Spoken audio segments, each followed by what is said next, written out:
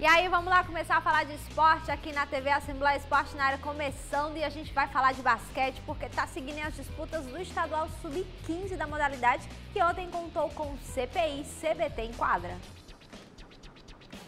Os jogos de basquete sub-15 deram uma pausa, mas a bola movimentou a cesta na quadra do Instituto Dom Barreto. último jogo da noite, um dos favoritos, CPI contra o CBT. A equipe do CPI joga com o gás e a experiência adquirida após retornarem dos jogos escolares. No campeonato piauiense, a equipe venceu o primeiro jogo por 69 a 30 contra o Cosmos enquanto o CBT vem de uma derrota por 26 a 43 para o Cosmos. E olha que não foi nada fácil para a equipe. Foi sexta por cima de sexta no primeiro período. Foram 18 pontos feitos pelo CPI, enquanto o CBT não fez nenhuma sexta. No segundo período, o CPI deu uma aliviada e marcou apenas 7 pontos o CBT na mesma, 0. Terceiro foi com 16 pontos para o CPI, e zero para o CBT. E no quarto e última chance do CBT reagir, a equipe fez apenas dois pontos e o CPI mais 11. Total 52 para o CPI e 2 para o CBT. Jogo bom, né? A gente conseguiu imprimir o nosso ritmo, né? É, a escola voltou agora dos Jogos Escolares da Juventude, foi um bom aprendizado também para a equipe. E isso aí é a nossa base do que já jogou o Sub-17, é, jogou o Sub-14 e está jogando agora o Sub-15. Eu acho que a equipe tem tudo para fazer bons jogos agora nas semifinais e quem sabe final também. Como a gente está iniciando o trabalho, está sendo um pouquinho abaixo do, do que eu esperava, né? mas a gente teve alguns desfalques hoje.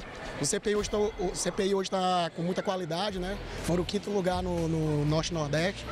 E nós vamos começar a nossa caminhada agora. Eles ganharam muito bem hoje. Esperamos melhorar durante o no, nosso projeto, que é para daqui a dois, três anos.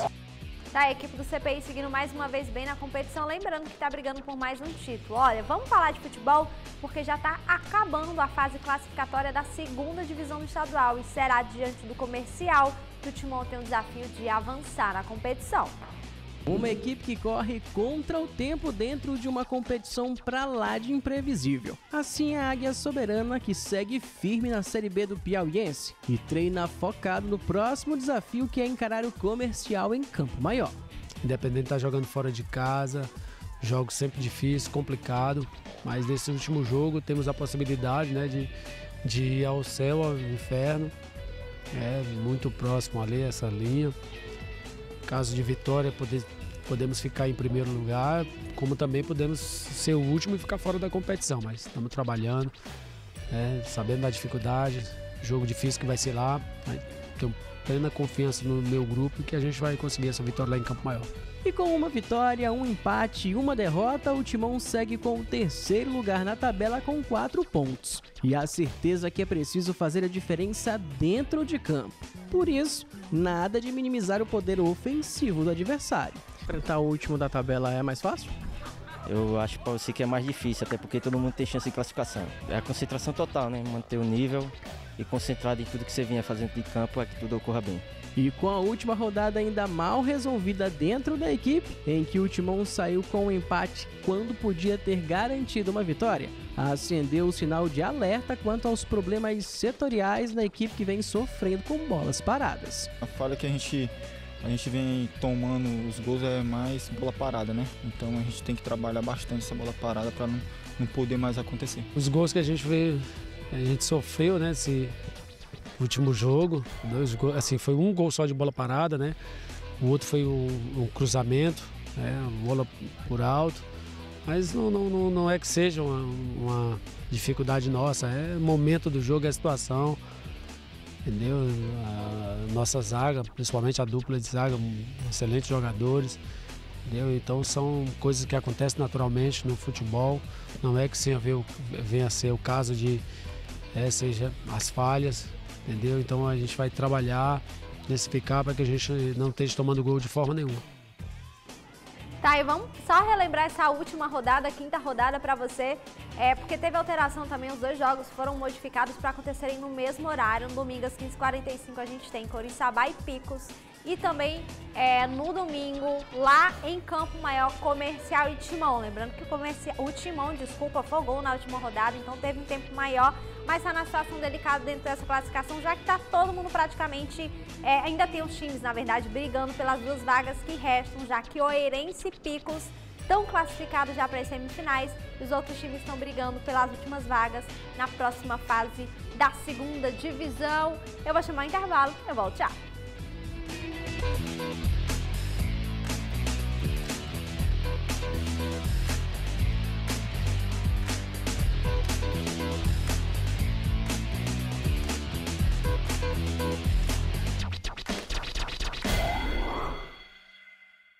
A Assembleia está sempre por perto e a gente se encontra onde você preferir. Na TV aberta, canal 16.1, na NET, canal 7, na Vivo TV, canal 9, na Oi TV, canal 215, na Sky, canal 316.1 e na internet, tvassembleia.org. A TV Assembleia é o que liga.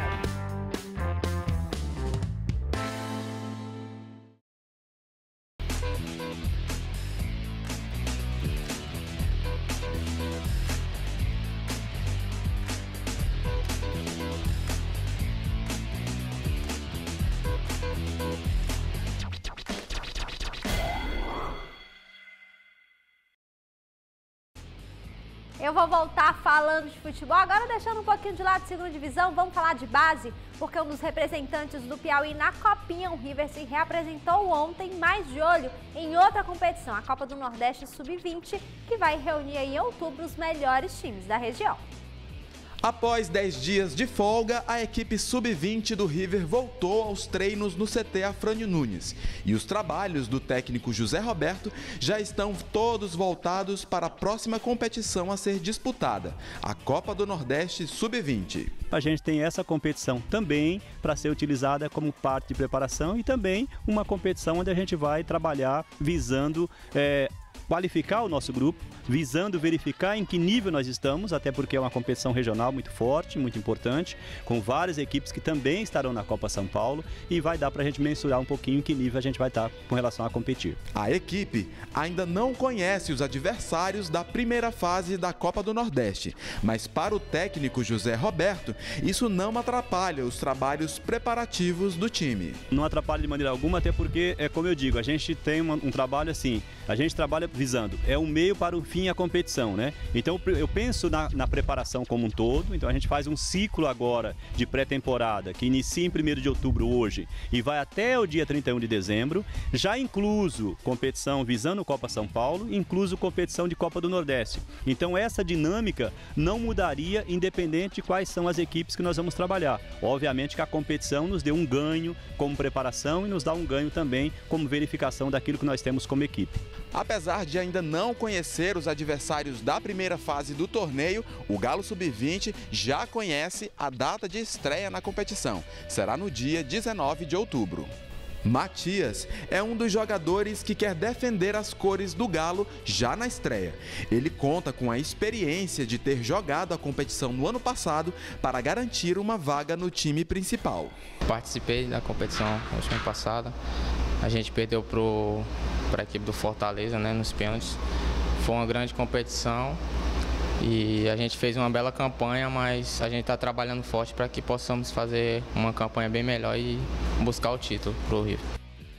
Lembrando que no ano passado essa eliminação da equipe do River diante de Fortaleza na semifinal foi nos pênaltis. O jogo normal terminou empatado em 1 a 1, mas Fortaleza acabou passando, então com certeza o River está indo com mais, gal, mais gás para a disputa dessa Copa do Nordeste. Vai começar só no dia 19 essa fase de grupos, mas lembrando que esse ano a competição mudou de formato, ficou igual a, a Copa do Nordeste profissional aí, que conta com pré-Copa do Nordeste e os times já garantidos na Copa do Nordeste. Então, a gente vai ter agora no dia 12 de outubro a disputa de dois, de duas, de dois jogos ainda, desculpa, de dois confrontos para definir justamente os times que vão entrar nessa fase de grupos da Copa do Nordeste Sub-20 no dia 19. Vamos ficar de olho nessa preparação da equipe do River e, e, e, aí sim, depois dessa competição, eles ficam de olho olho realmente na preparação da copinha. Para fechar rapidinho, já que a gente está falando de futebol, está começando a partir de hoje o CBF Social de Futebol Feminino aqui em Teresina. Vão ser três dias aí realmente trabalhar e fomentar o futebol feminino. Amanhã tem peneira para as meninas a partir de 14 anos de idade, o dia todo, até atletas sub-20. A gente que, claro, vai trazer todos os detalhes para vocês, porque inclusive a Jéssica de Lima, que é auxiliar técnica do Jonas Urias na seleção sub-20, está presente aqui em Teresina e vai estar tá de olho nessas meninas aí para ver o que, é que tem de talento aqui no Piauí. Mais um intervalo rapidinho, eu volto já.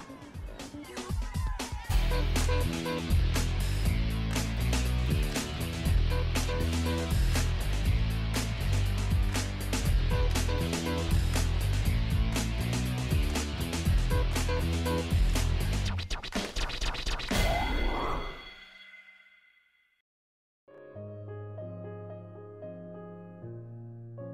vida ficar mais leve, é preciso um toque de cuidado. O Outubro Rosa lembra a importância da prevenção do câncer de mama. Faça o autoexame e vá ao médico regularmente.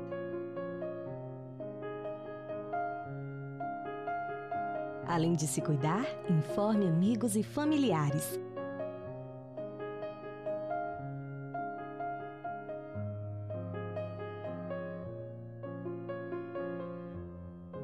Um toque de solidariedade para preservar a saúde de quem a gente ama. A TV Assembleia apoia o Outubro Rosa.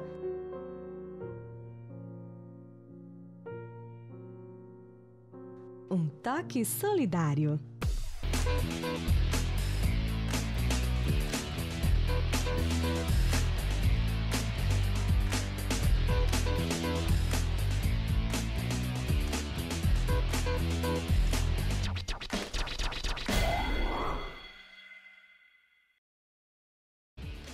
Para fechar o programa de hoje, vamos entrar no clima já da final do primeiro turno do futsal, porque o GES vai fechando essa semana antes de enfrentar o Belos e enquadra, viu? Pelo menos com, com um cara aí que conhece bem o caminho até o fundo das redes.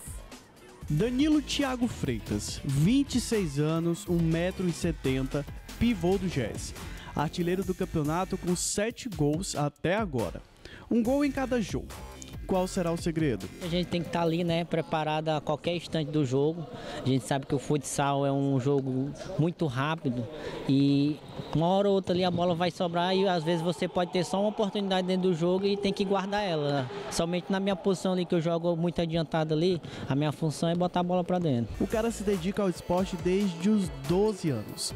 E não é só no futsal que o cara se garante. No futebol ele joga e no futsal é campeão agora quer ser campeão mais uma vez pelo Jazz, time que ele defende pela segunda vez. Eu creio que com o elenco que a gente tem, dificilmente vão tirar esse título da gente, pelo empenho que a gente está tendo, tanto nos treinos como nos jogos. É isso. O Jazz tem uma peça-chave em mãos para chegar à conquista do bicampeonato. No entanto, a equipe ainda ressalva com a lesão de alguns jogadores que estão em quadra, na marra, como o Idelvando ala do Jazz, que há uns 15 dias está com uma lesão na adutora, mas mesmo assim não desiste. Estou fazendo fisioterapia, fazendo intensivo aí, fazendo de manhã à tarde, para chegar lá no final da semana, no domingo, tentar jogar bem e tentar ajudar a equipe ao máximo que eu puder. A semana será de muito treino para enfrentar a equipe do Belos, time que surpreendeu a todos e que tem um elenco experiente e que fez uma ótima estreia até agora.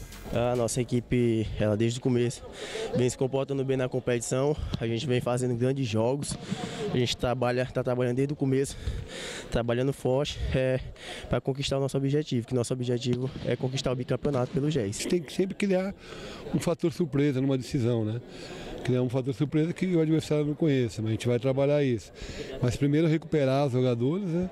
acoplar o Júnior novamente, que estava suspenso, o Calapiai tem condição de jogo agora, acoplar direitinho a equipe.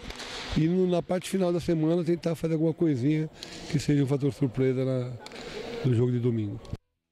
Aí, lembrando que eu falei ontem, né? As equipes vão seguir treinando até a véspera da competição pensando em, claro, melhor para esse confronto, foi o tempo maior entre um jogo e outro. Lembrando que os jogos da primeira fase, quartas e semifinal, foi um seguido do outro. Inclusive quartas acontecendo quinta e sexta, semifinal já acontecendo domingo. Então, por conta dessa sequência de jogos aí, pelo menos dois jogos por semana, a Federação de Futebol de Salão do Estado do Piauí resolveu dar uma pausa maior para os dois times que chegaram à final desse primeiro turno. Um tempo bom de trabalho, apesar de que o GES não vai poder ter esse tempo para recuperar todos os jogadores que gostaria, mas enfim, ainda tem um segundo turno do campeonato para a gente ver ainda o que, que esses times têm para mostrar ao longo do torneio e, claro, saber quem realmente vai sair com esse título de campeão estadual de 2019. E amanhã a gente, claro, que vai falar mais uma vez da equipe do Belos, o outro finalista da competição, time novo chegando pela primeira vez para disputar estadual e já está aí nessa final do primeiro turno. É isso, eu vou ficando por aqui. Um ótimo final de tarde para você. Até amanhã.